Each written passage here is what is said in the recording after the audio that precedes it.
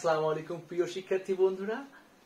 আমি গোলাম তাওসিফ কালারফুল ক্যালিবার্স এর পক্ষ থেকে আমি আজকে এসএসসি জেনারেল ম্যাথে তিন পয়েন্ট ওয়ান অধ্যায়টার তোমাদের করাতে যাব।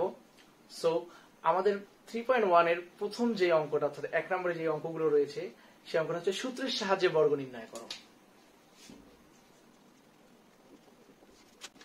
অর্থাৎ এই থ্রি পয়েন্ট ওয়ানের যেই প্রথম টপিক বা প্রথম ক্যাটাগরির যে অঙ্কটা সেটা আসলে সূত্র ব্যবহার করে বর্গ নির্ণয় করতে বলা হয়েছে। সো আমরা বর্গ নির্ণয়ের সূত্র জানি। তোমরা যদি না জেনে থাকো, তাহলে আমার এইখানে লিঙ্ক দেওয়া আছে সূত্রের সেখানে সূত্রগুলো দেখে নিতে পারো। সো প্রথম অঙ্কটা এখন আমরা করব। Two A plus three B এটা দিয়ে বলা হয়েছে সূত্রের সাহায্যে বর্গ নির্ণয় করো। সো এই অঙ্কটা যখন দেখব, আমরা প্রথমেই পুরোটার উপরে বর্গ করে নেব।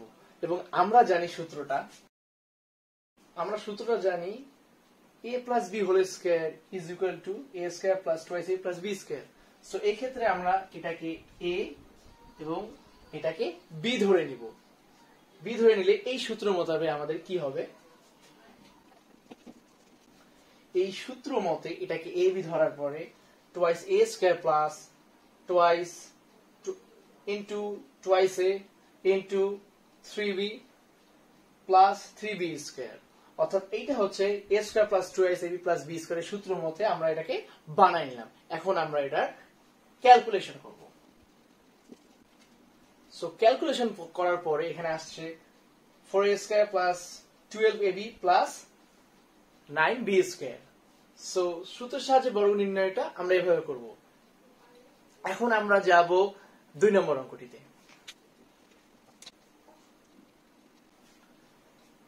এখন আমরা খ নম্বর অঙ্কটিতে আসছি। এটা হচ্ছে সূত্রের সাহায্যে বর্গ নির্ণয় করো। তো সূত্রের সাহায্যে বর্গ নির্ণয় যখনই দেখব তখন আমরা জানি পুরো রাশির উপর বর্গ করতে হবে। সো এখানে আমরা দেখতে পাচ্ছি এই সূত্রের মতো এটা এ এটাকে বি তাহলে এখন A square A plus B whole square is equal to A square plus twice B plus B square এটাকে সেই সূত্র মতো বানালে আমাদের অঙ্কটি হয়ে যাবে। আমরা সাজা নিলাম।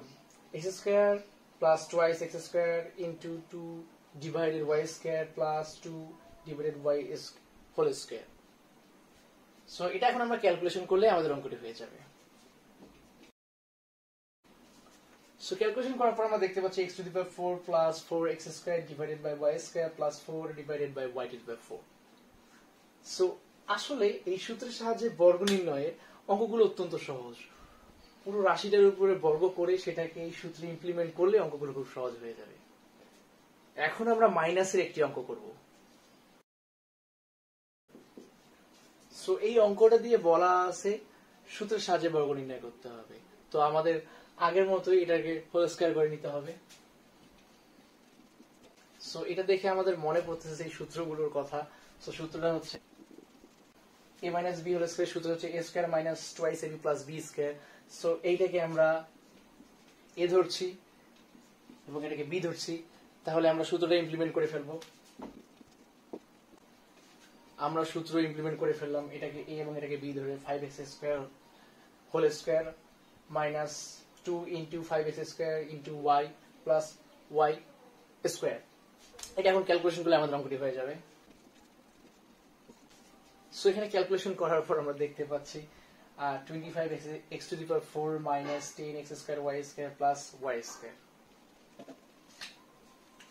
প্রিয় শিক্ষার্থী বন্ধুরা, এতক্ষণ আমরা দুটি পদের বর্গ নির্ণয়ের সূত্রগুলো করলাম, বা সূত্রের সাহায্যে অঙ্কগুলো করে ফেললাম। এখন আমরা চারটি পদ দিয়ে সেম অঙ্কটা করার চেষ্টা করব। সো ছ নম্বর অঙ্ক। এই অঙ্কটা দিয়ে বলা হচ্ছে সূত্রের সাহায্যে বর্গ নির্ণয় করো সো এটা দেখে তোমরা অনেকে ভয় পেয়ে যেতে পারো। আসলে চার সংখ্যার তো আমরা কখনো করিনি বা তিন সংখ্যার কখনো করিনি। সো এই অঙ্কটা কীভাবে করব? এই অঙ্কটা দেখা মাত্র তোমাদেরকে করে নিতে হবে। দুটি একসাথে এবং একটি আলাদা। অর্থাৎ দুজনকে একসাথে রেখে একজনকে আমরা ছেড়ে দেবো। তো সেটা করে নিতে হবে। এই যেখানে দেখতে পাচ্ছি, আমরা এই দুজনকে কাছাকাছি রাখলাম। মানে এরা বন্ধু আর রেখে শত্রু হিসেবে আলাদা করে দিলাম। সো এখন আমরা কি করব? এখন পুরোটার উপর হয়ে স্কোয়ার দেবো। সো আমাদের সূত্রের সাহায্যে বর্গ নির্ণয় হচ্ছে দুটোর উপরে করে দিতে হবে। সো আমরা সেটা করে দিলাম। এই দুজনকে একত্রিত এবং এই দুজনকে একে আলাদা করে দিলাম। সো এখন দেখো এই সূত্রটা কীরকম মনে হচ্ছে। A minus B whole square সূত্রের মতো। যদি আমরা এইটাকে এ ধরি এবং এইটাকে বি ধরি, তাহলে এখন আমরা সূত্রটা অ্যাপ্লাই করে দেখি কি হয়। আমরা এটাকে এ এবং এটাকে বি ধরে সূত্র ইমপ্লিমেন্ট করলাম। X minus BY square minus two X minus BY into CZ plus CZ square তারপরে আবার আমরা এখানে দেখতে পাচ্ছি কি? এইটাও একটা সূত্রের মতো ধরো। কোন সূত্র? এ মাইনাস বি হোল স্কোয়ারের মতো। সো আমরা আবার এটাকে এ এবং আবার এটাকে বি ধরবো। তারপর আবার সূত্র ইমপ্লিমেন্ট করব। এটাকে এ এবং এটাকে বি ধরে আমরা সূত্র ইমপ্লিমেন্ট করে ফেলেছি। এবং এখানে আমরা গুণ করে নেব। প্রথমে আমরা এইটার সাথে এটা গুণ করে নেব। এখন আমাদের কি করতে হবে? এখন এইখানে টু সি জেড এই পুরোটার সাথে গুণ অবস্থায় আছে। আমরা এখন গুণ করব। কিন্তু গুণ করতে মনে রাখতে হবে, এখানে মাইনাস রয়েছে এটার সামনে এবং এটার সামনে প্লাস আমরা জানি প্লাস মাইনাস হয় মাইনাস আবার এটার সামনে মাইনাস আছে, তাহলে মাইনাস মাইনাস হয়ে যাবে প্লাস এইটাই অনেক শিক্ষার্থীরা ভুল করে থাকে যে প্লাস মাইনাসে কি হয়? বা এটা করার সময় আমাদের মনেই থাকে না যে এটার সামনে মাইনাস আছে। তো আমরা মনে রাখব, এখন এই গুণটা করতে হচ্ছে এটার সামনে মাইনাস এটার সামনে প্লাস তাহলে প্লাস মাইনাস মাইনাস তাই মাইনাস চিহ্ন দিলাম। এখন গুণটা করছি। সো এটা গুণ করার পরে প্লাস মাইনাস মাইনাস দিছি, তারপর হচ্ছে two A C X Z আমরা এটা অ্যালফাবেটিক্যাল হিসাবে সাজিয়ে নিলাম। পরেরটা এখন আমরা গুণ করব। এটা মাইনাসে মাইনাসে হয়ে যাবে প্লাস সো প্লাস চিহ্নটা আগে দেবো, তারপর আমরা এখন গুণটা করব। সো মাইনাসে মাইনাসে প্লাস হয়ে গেল, তারপর গুণ করার পরে আসলো টু বিসি ওয়াই জেড এবং তারপরে যা আছে তাই।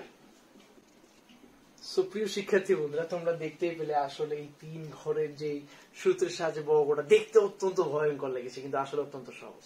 সো তিন ঘরে যেসব সূত্রের সাহায্যে বর্গ নির্ণয় থাকবে, প্রথমেই খেয়াল করতে হবে প্রথমে আমাদের মনে রাখতে হবে, হয় দুইটাকে একসাথে বন্ধু করে একটাকে শত্রু বানাই দিব, অর্থাৎ এই দুইটাকে বন্ধু বানিয়ে এটাকে শত্রু বানায় তার পুরোটার উপরই আমরা বর্গ করে দিয়েছি।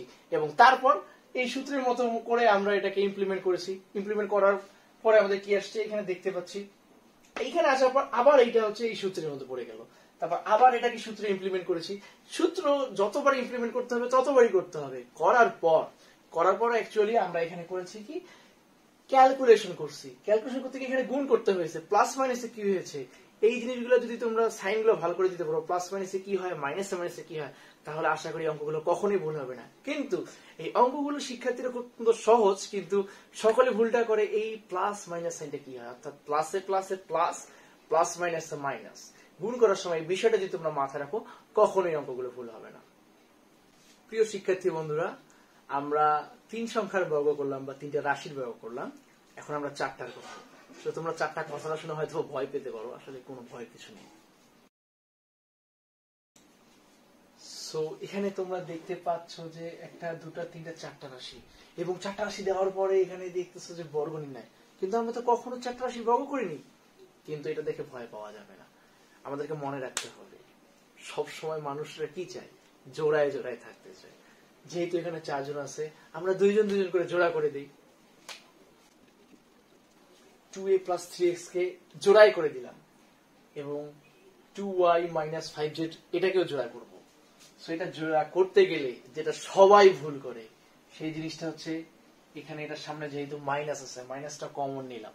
বা মাইনাসটা নিয়ে ব্রাকেট যখন করব সো মাইনাস যখন নিলাম, এটা টু ওয়াই হবে। কিন্তু এই মাইনাস আর এই মাইনাস এই দুটা মূলে প্লাস হয়ে যাবে। কারণ আমরা মাইনাসটাকে কমন বা মাইনাসটাকে আলাদা করে নিছি সো এটা রাগ আছে।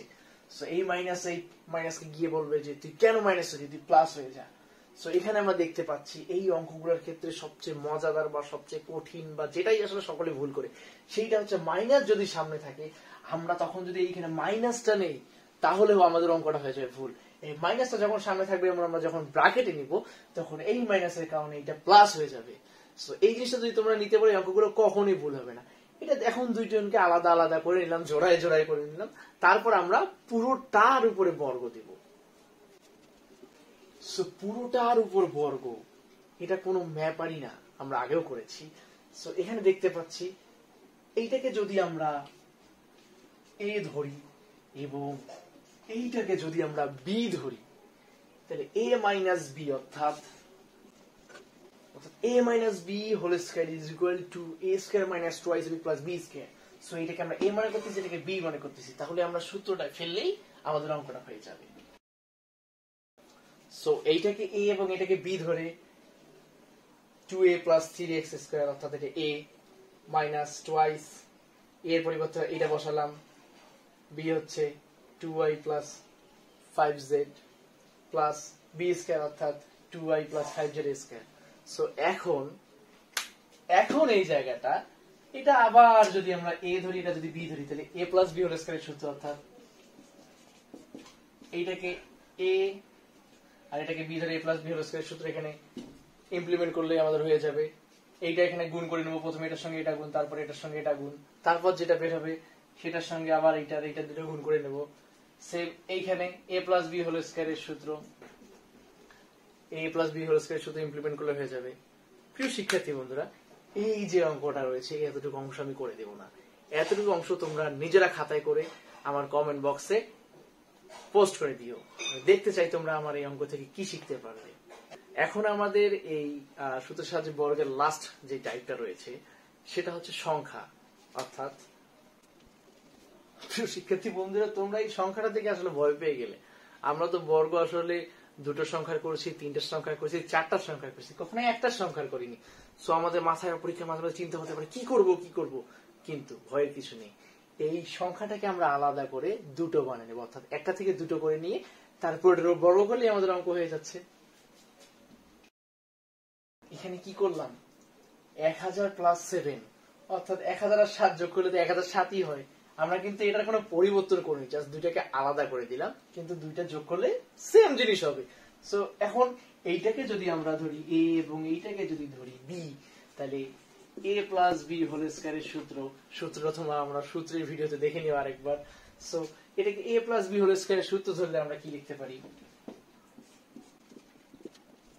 সো এ বলতে এক হাজার স্কোয়ার প্লাস টোয়াইস এ বলতে এক হাজার বি বলতে সেভেন প্লাস বি স্কোয়ার বলতে সেভেন স্কোয়ার এখন এটা ক্যালকুলেশন করলে আমাদের অঙ্কটা হয়ে গেল। সো ক্যালকুলেশন করলে আমাদের এটা আসছে। অর্থাৎ এই অঙ্কটা ওগুলো অঙ্কর থেকে অনেক সহজ।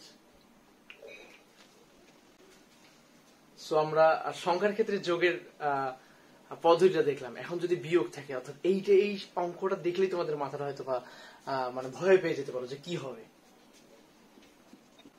নয়শো সাতানব্বই এইটা পরীক্ষা দিলে এবং বলল সূত্রের সাহায্যে বর্গনা করো। আসলে আমরা ওই সময় টেন্সড হয়ে যাব, কি করব? এটাও অত্যন্ত সহজ। এটাকে আমরা একটা থেকে দুইটা করে নেব। কীভাবে? সেটা দেখি এক হাজার বিয়োগ তিন, অর্থাৎ নয়শো সাতানব্বই। আমরা কিন্তু মানের কোনো পরিবর্তন করিনি। এই সংখ্যাটাকে দুইটা আলাদা ভাগ করে নিলাম। দুইটা আলাদা ভাগ না করলে আমরা বর্গের সূত্রে ফেলব না, তাই আমরা দুইটা আলাদা ভাগ করে নিচ্ছি। এখন এরপরে স্কোয়ার দিলাম। তাহলে এটা কি হলো? এটাকে যদি আমরা এ ধরি, এটাকে যদি বি ধরি, তাহলে এটা কোন সূত্রে পড়বে? এ মাইনাস বি হোল স্কোয়ারে সূত্রে পড়বে। সো ওই সূত্র ধরে অঙ্কটা আমরা যদি করি, তাহলে আমাদের অঙ্কটা হয়ে গেল। ক্যালকুলেশনটা ভালো করে করতে হবে।